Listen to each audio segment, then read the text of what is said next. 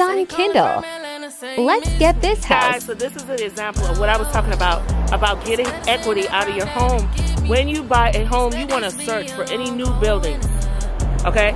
So as you can see, this is a new development. They're going to build a whole new neighborhood back here. The neighborhood is going to be called Champions Run. It is going to be by D.R. Horton, which is a well-known builder. So when you're looking for a home, you need to ride the surrounding areas. You need to see if anything is being built up, which is going to add value to your home, which is going to add equity to your home. Same thing, okay?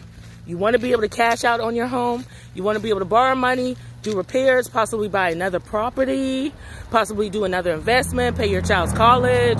These are the things that equity is for. Okay? So this is Dawn from Let's Get This House.